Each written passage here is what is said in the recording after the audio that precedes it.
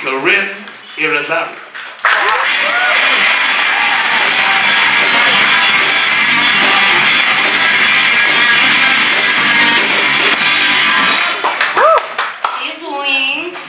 goodness. So can you tell what I am? I'm so Puerto Rican. It's ridiculous. How pissed off would you be if I talked like that the entire time? You'd be really mad, right? Wouldn't you? I see these women already like staring at me like evil death hate look, right? Yeah. Is it because I'm pretty or is it because you know what I'm saying? What's with that? Look, look. Once once you really get to know what's underneath all this, you're gonna be alright. Trust me, I got issues. I was a late bloomer in life, right? So you have to understand this as Hispanic women, we're very hairy. I mean, worse than Aldo. You saw how hairy Aldo was? That was my mother, okay? Fucking Yeti. Hair coming out underneath your jeans. It wasn't shaving, it was a whole different grooming story. But I was late bloomer, so I didn't know about the whole shaving of the vag area until I was about like 19 years old. And like this white guy was like, you should shave that. It would look a lot better. Alright, so why don't you do it for me then? I was like, alright. So I'm thinking it was gonna be something romantic, you know, bathtub, pink razor foam, and you know, roses and flowers and all kinds of shit. He walks in with 20 Mexicans from Home Depot. Three days later, we're like, fuck this man, we went back to Mexico. Landscaping sucks. Do you know how that hard that is to take that from Mexicans?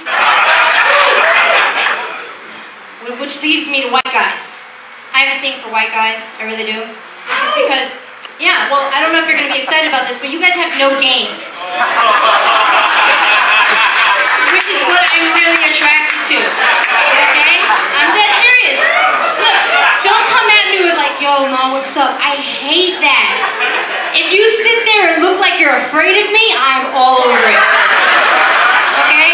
I like them so white. I pick up my men, I pick up my white men from KKK meetings, okay? That's right, I'm into bondage, you know? It's not rape if I push back. Alright? Swear to God, You know, the more they hate me, the I want. And actually, let me give you a piece of advice. White guys, if you ever want to sleep with a black girl, a Hispanic girl, an Asian girl, this is all they need to know. And, and, agree with me when I say when I say this. This is the only thing you have to say. I've never been with and fill in the blank. It works every time. We're taking our panties off faster than you can than you can say spick, okay? Swear to God, we're like a cat in heat, like, yeah, that's right, have some minority pussy. That's right. How about you, white boy? You ever been with a Puerto Rican? Alright. Fuck you then. No good to me. That's right. Speaking of pretty pussies, I was watching this show on uh, HBO called Real, Spe- uh, Real Sex. Anybody heard of Real Sex on HBO? Yeah. Some of the ugliest fucking people ever talking about sex. I- I'm expecting to see hot people, something that can kind of help me masturbate when I'm alone. And it's the fattest and ugliest people I've ever seen on television. They had this one episode where they're talking about how vaginas are beautiful and they're like a flower and like butterflies. Have any of these people looked at a pussy after it's been fucked?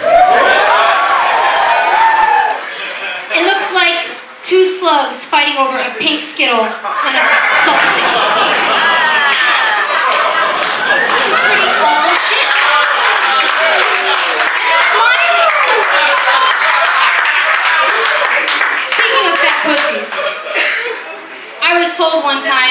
whole shaving fiasco, I finally went to the beach and I was confident enough, you know, to sit at a resort in shorts because, you know, I had no hair on my legs, so I wasn't afraid of scaring the small children away.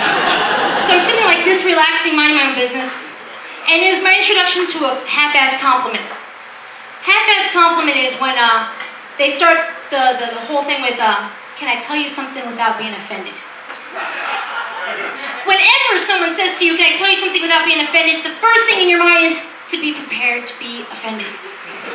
Like when someone says to me, you too fine to be doing stand-up comedy. Really? Because I didn't know we all had to look like Roseanne Barr and Rosie O'Donnell to do fucking comedy. So apparently we're not going to have a good relationship because I'm not funny for you. It's a whole another list of emotional issues.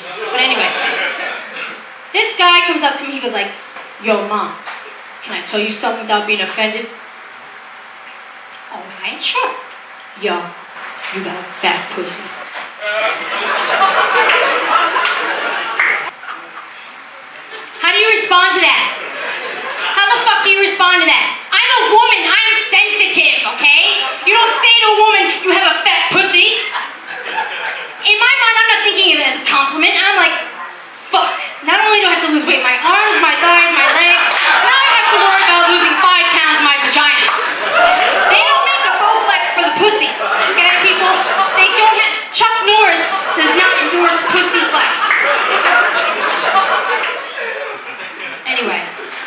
It's my time.